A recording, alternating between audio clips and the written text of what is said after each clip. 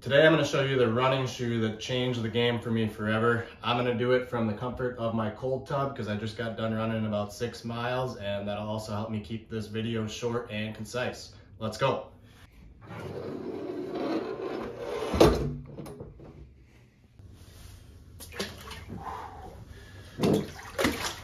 All right, three and a half minutes starts right now. Uh, give me just a few seconds to get acclimated here. All right. So the shoe I'm talking about, uh, and first of all, I'm not affiliated with uh, this brand or anything like that. Uh, in fact, if you want to find this shoe, you're going to have to go research it because I'm not going to link it. But it is the Saucony Endorphin Pro 2.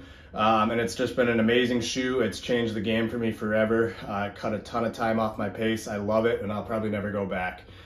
Whew, it's chilly in here. Okay, so uh, a buddy of mine told me about this shoe. Uh, I didn't believe him. I didn't believe uh, the hype around it, uh, but I started trying it and I just loved it. So um, it's got this carbon fiber plate in it that apparently is supposed to make you uh, kind of propel your movement forward and propel your steps forward. And so when I made the switch, uh, I didn't start working any harder or running any faster and purposefully, and it just cut off the it cut off my pace pretty significantly. So um, I'm not a fast runner. I've been running for a few years now. I ran 750 miles uh, in 2023.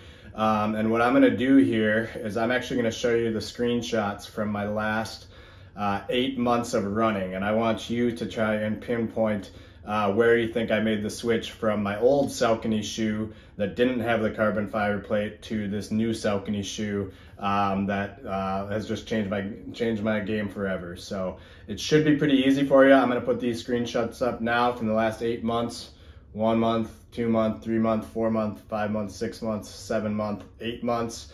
Uh, go ahead and study those for a little bit. Um, and I'm gonna sit here in this cold tub uh, while we do it. Uh, hopefully those uh, screenshots are popped up now.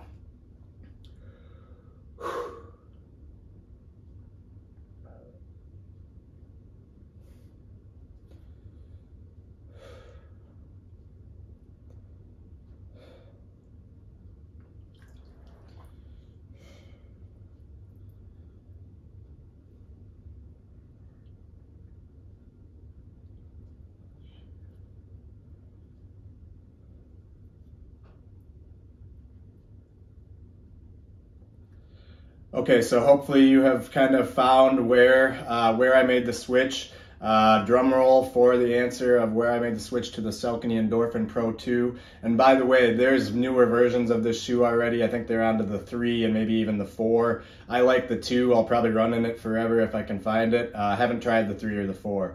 Um, drum roll for when I made the switch, uh, October 28th, 2023. So uh, like I said, I'm not a super fast runner. Um, it cut my pace down from an average of like 8 minutes 30 seconds uh, to 7 minutes and 45 seconds, sub 745. Cut my, my pace down 45 seconds just by making the switch to this shoe.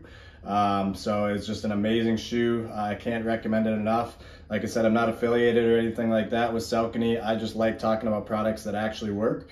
Um, and so this has been one that changed my running game and I wanted to share that with uh, you all. So if you're looking for something that's going to make you a little bit faster, like I said, I'm not the fastest runner, but immediately when I made the switch, this was the shoe that cut me from 8.30 to 7.45. Uh, timer's up here. Hope you liked this video. Hope it was uh, helpful to you. If it was, uh, subscribe to this channel and I'll keep making more of them. Thanks.